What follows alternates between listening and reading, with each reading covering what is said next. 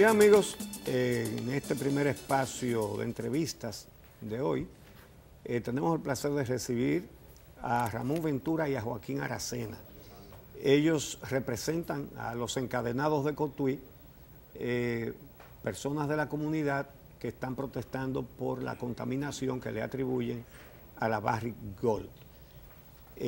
buenos días. Buenos días. Y vamos a pedirle entonces a Ramón Ventura que nos diga en qué consiste el problema.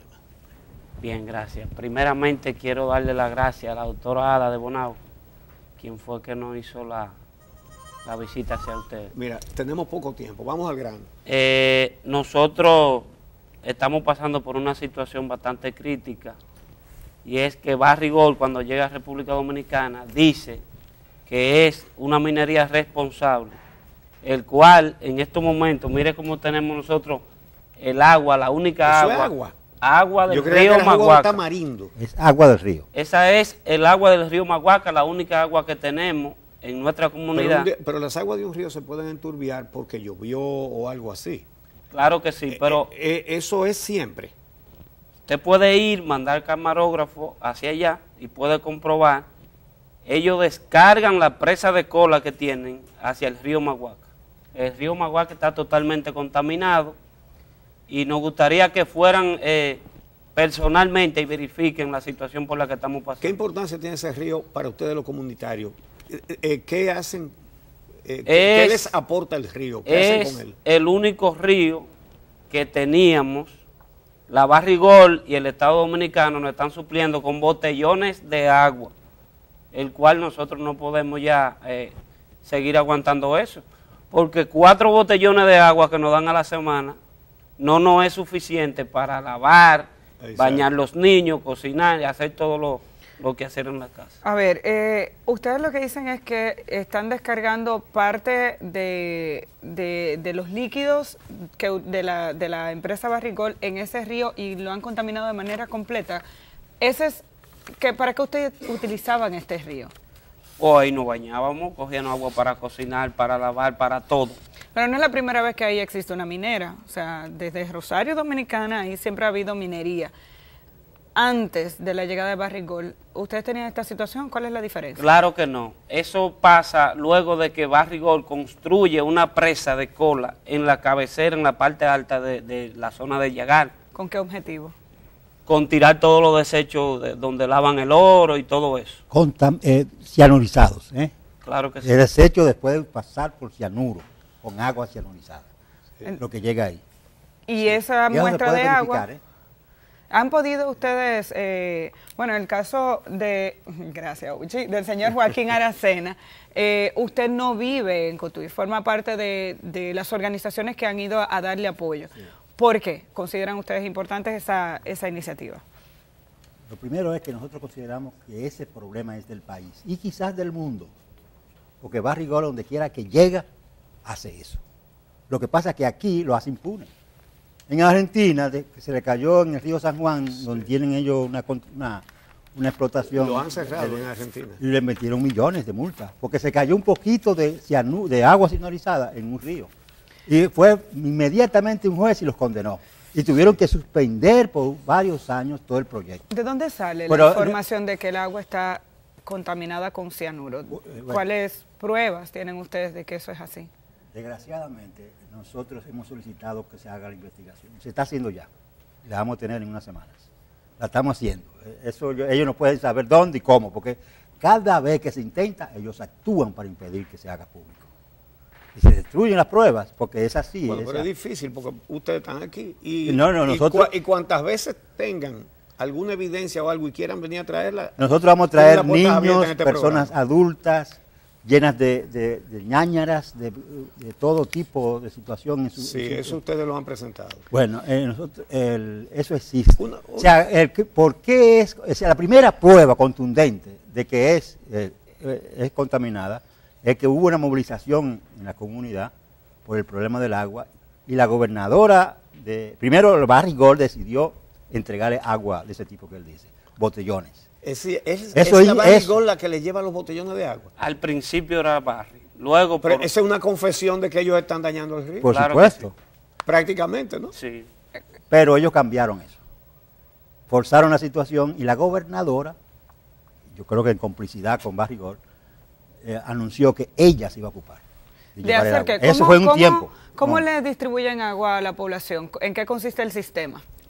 Va un camión eh, con botellones, eh, hay el centro donde llevan los botellones, exhibidores, y ahí las personas van, buscan cuatro botellones, ¿Por familia?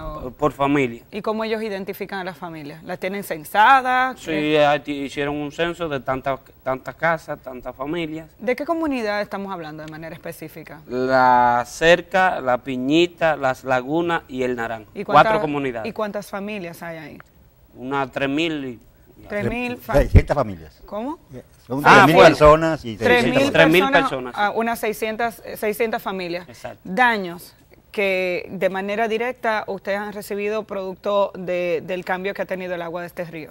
Bueno, eh, ahí hay eh, problemas renales, problemas de la piel, problemas ¿Se bañaba la gente antes en ese río? Claro que sí. Y ya no puede. Sí, sí, y se tomaba también esa agua, pero ya no. Es como le digo, luego de que construyeron la presa de cola, hay una flotilla de camiones que transportan material contaminado hacia la presa de cola. Entonces, cuando van con esos volteos llenos de material, dejan caer pegote de, ese material. Cuando llueve, todo eso va hacia el río Maguaca también. Y por esa razón se contamina. Eh, Rafael Guillén Beltré, de Paz Dominicana, le puso una demanda por daños y perjuicios. Y la jueza Jacqueline Ramón Cotuí declinó a favor de la Barri. Se apeló al Tribunal Constitucional y ya van dos años y ni declaran en contra ni a favor ni de ninguna y eso no son los que dicen que son la muralla que protege la soberanía de la República Dominicana. Entonces, con, la barrigol no, la, no pueden. Ahí no hay soberanía ah, o no pueden o no Hay muchísimos casos, como el caso de la señora de la Cruz Mariano, viuda de Galvez, doña María, que tiene plomo, cromo y zinc ella, en, la piel, sí. Eh, Salud Pública hizo 27 análisis y salieron 23 con, problemas y lo tienen secuestrado los, resultados, no lo han dado. Eh, son personas de la comunidad a las que Salud Pública evaluó. Sí. Y cuando la... Usted iba a decir algo. Yo decía que eso fue cuando Hidalgo era secretario de Salud. O sea, antes de la... Mucho antes de todo eh, eso, ya Cuando el gobierno decide, y primero la barra y luego el gobierno, empezar a darles agua, eso es supongo que a, partir de las protestas que ustedes comenzaron a hacer, ¿con qué argumento? O sea, hubo una reunión que ellos admitieron, que ellos dijeron. No, ellos fueron a la comunidad como un regalo. La gente al, al principio no sabía lo que venía y la aceptó, pero luego nos dimos cuenta de que fue una trampa. Iban a dañar todas las aguas y por tal razón eh, comenzaron a dar los botellones. ¿Con quién ustedes se han reunido? Eh, si el gobierno los ha escuchado, si tienen alguna esperanza, ¿qué es lo que ustedes están pidiendo? Nosotros hemos venido aquí frente al Palacio, hemos ido a la gobernación, hemos ido a la energía y mina, hemos ido a, a todas partes. Hemos hecho varias denuncias pila de veces. ¿Qué ustedes piden? Reubicación a un lugar sano donde se pueda vivir dignamente. Porque ya ustedes dan por perdida la zona. La damos por perdida y que ya eh, la gente se está muriendo ahí. Ahí no se puede vivir. ¿Tienen ustedes identificado una cantidad de personas que están afectadas? ¿Han hecho ese levantamiento? Hay un sinnúmero eh, eh, grandísimo, pero no, no le puedo decir exactamente. Se está haciendo un levantamiento se está ahora haciendo, con participación del Colegio Médico. Ustedes hicieron se encadenaron en diciembre. Estamos eh, encadenados todavía. Están encadenados. 6 de eh, noviembre se encadenaron y siguen encadenados. Digo, una parte, se van rotando. Como una forma de llamar la atención de, las autoridades sobre, sobre este tema. Ninguna respuesta hasta ahora. Nada. El gobernador quedó de ir cuando se llegó la hora de que iba. Dijo que el lugar no era adecuado para ir que, fueran nosotros a, su oficina y nada, todavía no hemos recibido por parte de las autoridades, nadie ha pasado por ahí. Ni de Barrigol. Eh, en, muchas ocasiones las eh, organizaciones que dan apoyo a este tipo de iniciativas también se orientan con eh, especialistas en temas medioambientales. ¿Qué información han ofrecido algunos de esos especialistas, si es que la tienen a mano? ¿De cuál es la situación ahí? Bueno, los especialistas de, ambientales dicen que se está violando todo. Y es, verdad. La, ley 6400 medioambiental establece que no se puede permitir que, se contaminen los ríos. Está escrito en el artículo 60. Y, eso está que te he visto. La, empresa de la institución INAPA ha ido a hacer pozos y ha ordenado que no se use el agua, pero eso se queda ahí. no pasa nada. ¿Por qué no se puede usar el agua del subsuelo? Porque está contaminada con cianuro. Es con cianuro, pero no solamente cianuro. Hay, una cantidad de otros venenos que se producen. Metales pesados. Sí, metales pesados. Bueno, han tenido suerte. Eh, si ellos resuelven eso con botellones de agua, cuando... No se resuelve. Cuando, no, digo yo. entre comillas. Eh, entre comillas. Eh, y le, le, dieron el oro 97 a 3. No es que eso se cambió, pero no es que tampoco es justo lo que se cambió, ¿verdad? No, está 51 49 ahora, ¿no? Pero yo creo que hay una, una denuncia de una situación bastante seria que debe, las autoridades deben prestarle atención. Estamos hablando de un tema de salud y por tanto tiene que ver con la calidad de vida de la gente. El gobernador se supone que es la persona, el primer enlace del Ejecutivo con la población, pero el Ministerio de Salud Pública también tiene que responder y el Ministerio de Medio Ambiente. Eh, gracias por venir a compartir esta información con nosotros. Esperamos que este espacio sirva para que llegue de manera directa este mensaje a las autoridades y nos preocupa que ustedes hayan tenido la disposición de acercarse a tantos ministerios y a tantas carteras que tienen que ver con este tema y que hasta ahora como comunidad no hayan tenido ninguna respuesta. Gracias a Ramón Ventura y a Joaquín Aracena que vienen en representación de las comunidades que están en esta zona impactadas por la contaminación del río Magua en nosotros Cotuí. Quisiéramos agradecer la oportunidad que nos han dado porque nosotros tenemos que repetir, multiplicar este tipo de momentos de información al país porque esto se ha hecho invisible. La gente no se entera, el gobierno no se entera, ninguna autoridad se entera. Y, el país tiene que enterarse, porque mm. ellos tienen que cambiar. Y es sobre la base de que el pueblo dominicano asuma que eso es de ellos, que eso es nuestro y que tenemos que, de alguna manera, ponerle fin. Hay que cerrar la empresa. Miren, el diputado, el exdiputado Manuel Jiménez presentó un proyecto de resolución a la Cámara de Diputados, que ahora ratifica y está siendo pública, pidiéndola antes de los encadenados, pidiendo al gobierno que cerrara la empresa. Bueno, o regular la práctica minera, que puede ser otra solución. Muchísimas gracias.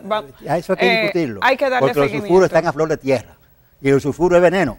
Bueno, pues... Eh, Ahí está hecha la denuncia. Gracias por venir. Les reiteramos que este programa está a su disposición cada vez que tengan una situación que, plantear. Queremos sobre el 28. Eh, Venemos para acá el 28 y vamos, venimos como columnas. Las tres, Loma eh, Miranda, Cotuí y, San Juan, porque también pretenden la manifestación de la Marcha Verde. A la Marcha, Verde. Amigos, de eso vamos a hablar en la próxima entrevista. Eh, en un momentito vamos a tener aquí a Carlos Pimentel, ¿verdad? Sí. Y a Jordania, a Jordania Ureña voceros del movimiento Marcha Verde que vienen a hablar de la organización de la concentración del día 28. En un momentito.